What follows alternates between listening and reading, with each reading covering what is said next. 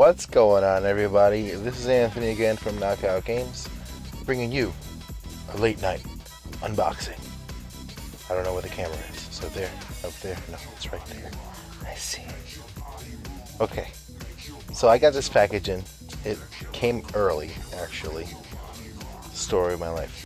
Hello, darkness, my old friend.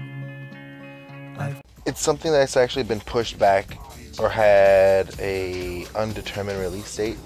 It was supposed to be released on April 30th. That date got pushed back the day of, and it got pushed to May 15th. And as I'm recording this, it's May 10th, five days early. So this box got from GameStop. Hopefully, it's what it is because I've had the worst luck when it comes to GameStop deliveries the past couple of days, the past couple of months. But uh, I'm about to open this thing up.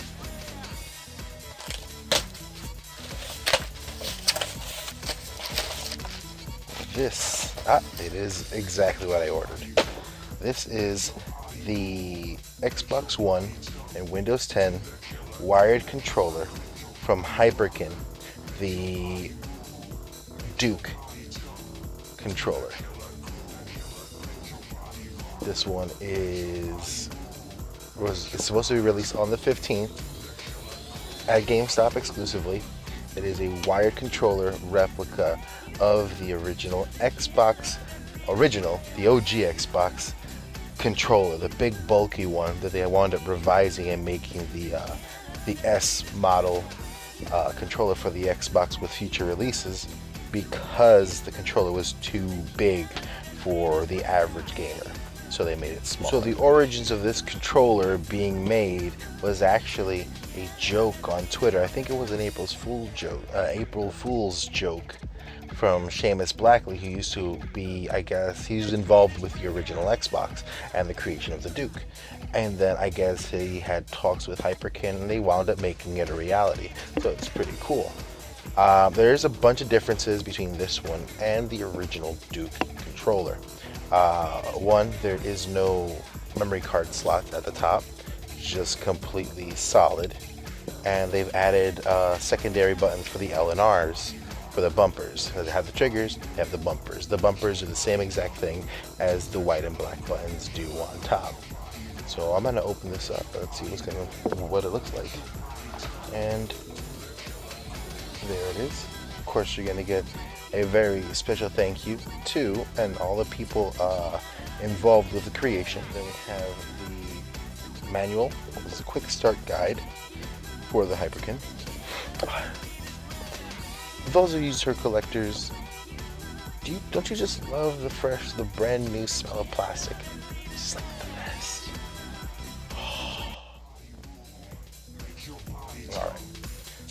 This is a fat controller. That's what they used to call this one, the fat controller. Of course, it has the button. It's a pretty small, tiny. Then you have the triggers up here. You have the USB cable there, which is U, uh, micro USB cable, standard Android.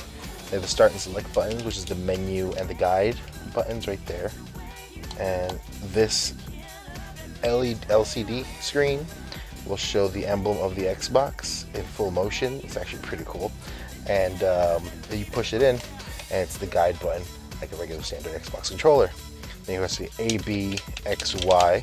Then you have the black and white button. Like I said before, the um, right black works with the right button. The left white works with the left button. Simple as that. The triggers have the button presses. I don't think the original Xbox had this thumbstick on it. I, I think so, yeah. And then the D-pad, which is really weird feeling, but it's pretty cool. I'm gonna plug it into my computer, see how it turns on. All right, so connecting it to my computer actually does the thing that it's supposed to do. The thing of the thing. I'm just gonna plug this in this way.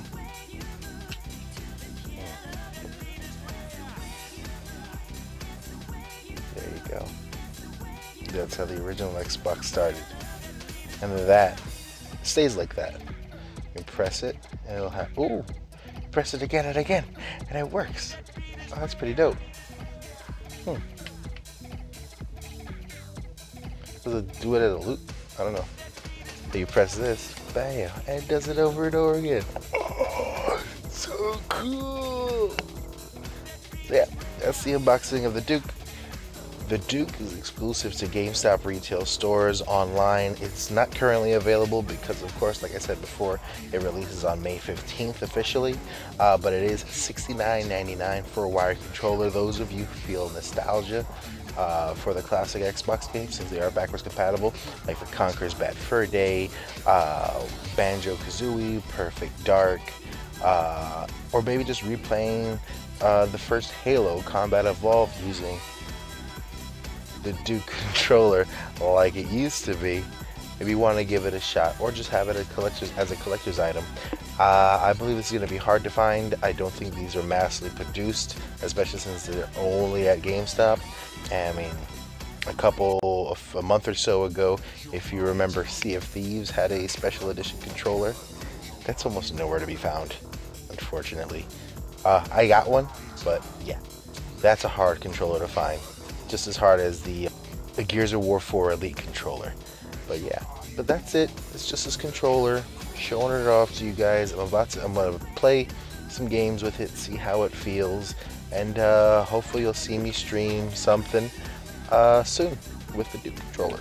But for everybody here at uh, Knockout Games, this is Anthony signing out. If you want to catch me on Xbox, you can go look me up at Zombeast 1016, Z O M B E A S T 1016, or you can catch me on PlayStation at uh, KOG underscore Banos, and I'll be playing some games there.